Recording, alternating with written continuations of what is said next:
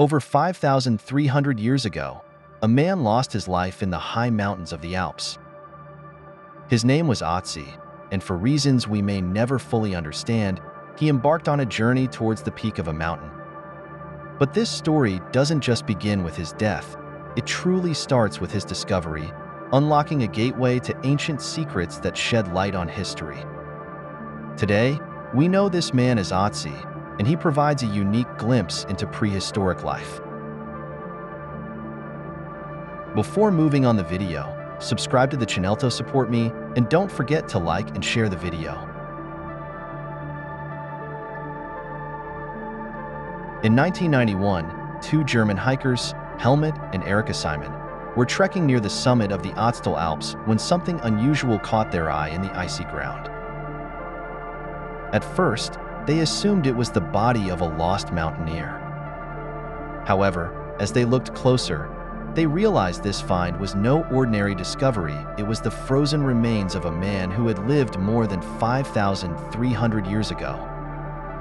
Otzi, preserved in ice for millennia, was about to reveal secrets from the distant past.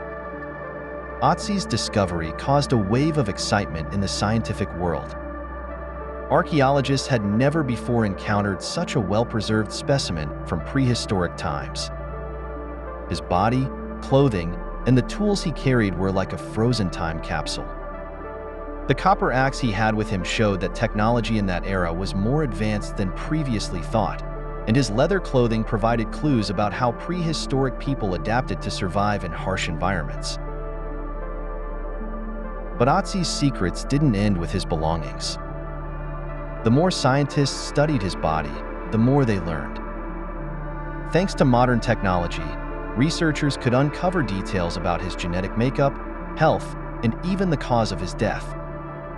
His body bore 61 tattoos, which were likely made for therapeutic reasons, possibly to relieve pain.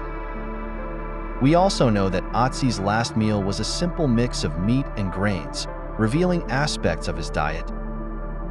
However, the biggest mystery was how he died. Initially, it was thought that Otzi had perished from the cold, but further investigations revealed that he had been fatally wounded by an arrow to his back. Why was Otzi alone in the mountains? Who attacked him? These questions remain unanswered.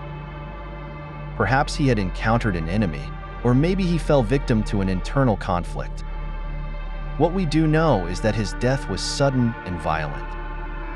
The arrow wound in his back suggests that life for prehistoric people, just like us, was filled with struggles.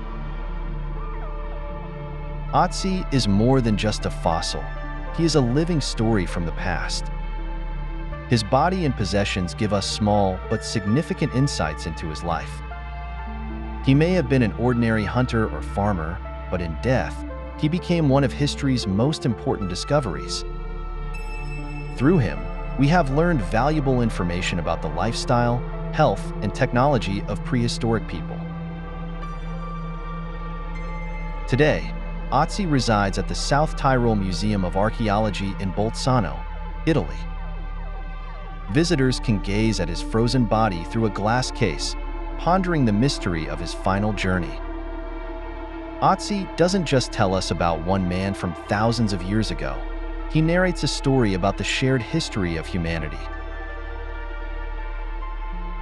This is the story of the Iceman Otzi, a time traveler from over 5,000 years ago who continues to connect us to our ancient ancestors.